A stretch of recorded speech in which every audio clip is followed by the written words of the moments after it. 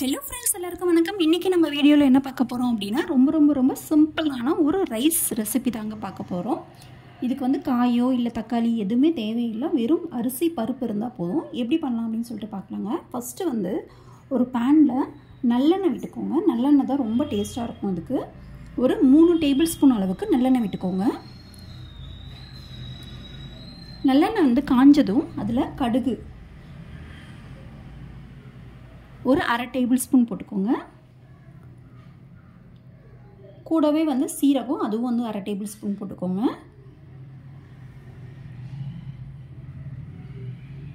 நல்லெண்ணெய் ஊற்றுனனால கொஞ்சம் டைம் எடுத்துக்கும் அது காயறதுக்கு.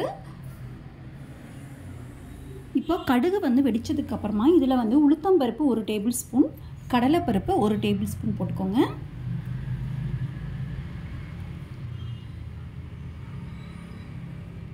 இப்போ இதை எண்ணெயிலே வந்து நல்லா ஃப்ரை பண்ணிக்கோங்க.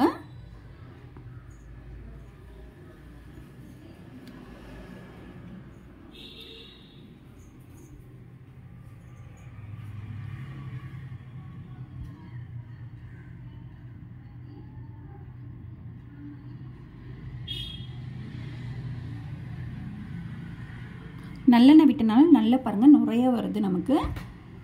இப்போ இது ஃப்ரை ஆனதுக்கப்புறமா சின்ன வெங்காயம் சின்ன வெங்காயம் பார்த்திங்க அப்படின்னா ஒரு கப் அளவுக்கு எடுத்துக்கோங்க. அதே மாதிரி பூண்டு பூண்டு வந்து ஒரு அரை கப் எடுத்துக்கோங்க. இதையும் போட்டு நல்லா வந்து வதக்கிக்கோங்க. கூட வந்து ஒரு ரெண்டு கொத்து அளவுக்கு கருவேப்பிலை போட்டுக்கோங்க. இந்த வெங்காயம் பூண்டு ரெண்டுமே வந்து நல்லா வதங்கட்டும்.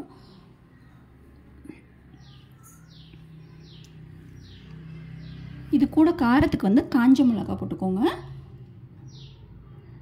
காரம் ஜாஸ்தியாக வேணும் அப்படின்னா இன்னும் போட்டுக்கோங்க. நான் ஒரு மூணு நாலு தான் போட்டிருக்கேன். இந்த மாதிரி உடச்சி போட்டுக்கோங்க. பாதி பாதியாக இப்போ இது கூட வந்து மஞ்சத்தூள் கால் டேபிள் ஸ்பூன் போட்டுக்கோங்க. இந்த ரைஸுக்கு தேவையான அளவு உப்பு போட்டுக்கோங்க. அவ்வளோதாங்க வேறு எதுவுமே இதில் தேவையில்லை. இப்போ இந்த வெங்காயம் மட்டும் வதங்கட்டும் கொஞ்ச நேரம். மஞ்சத்தூள் ஸ்மெல் போகட்டும்.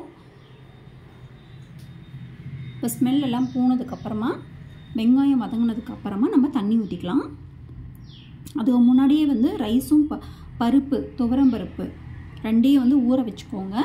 ரைஸ் வந்து ஒரு கப் எடுத்துக்கிட்டிங்க அப்படின்னா பருப்பு வந்து அரை கப் எடுத்துக்கோங்க.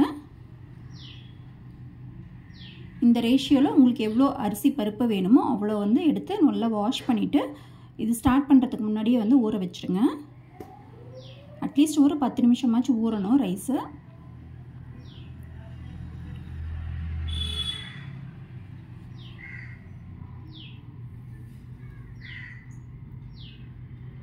இப்போ நல்லா வந்து நமக்கு வதங்கிடுச்சு. ஸோ அதனால் நம்ம தண்ணி ஊற்றிக்கலாம் தண்ணி பார்த்திங்க அப்படின்னா நீங்கள் ஒரு கப்புக்கு ரெண்டு கப் அளவுக்கு தண்ணி ஊற்றுறீங்க அப்படின்னா சாதத்துக்கு இதில் வந்து பார்த்திங்கன்னா ஒன்றரை கப் அளவுக்கு விற்றுங்க ஊற்றுங்க அப்போ தான் கரெக்டாக இருக்கும்.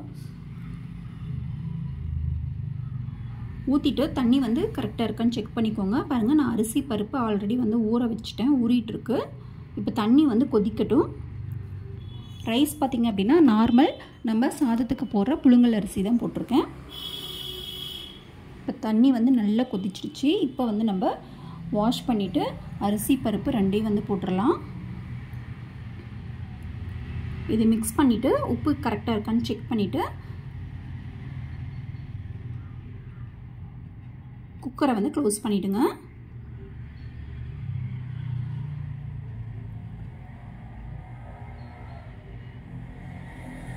இது கரெக்டாக ஒரு மூணு விசில் விட்டு எடுத்தீங்க அப்படின்னா கரெக்டாக இருக்கும். போதும் அதுவே. இப்போ இதை க்ளோஸ் பண்ணிடலாம். மூணு விசில் விட்டுட்டு அதுக்கப்புறம் ஓப்பன் பண்ணி பார்க்கலாம். நல்லா வந்து சூடு ஆறுனதுக்கப்புறமா ஒரு ஃபைவ் மினிட்ஸ் கழிச்சுட்டு ஓப்பன் பண்ணி பாருங்கள்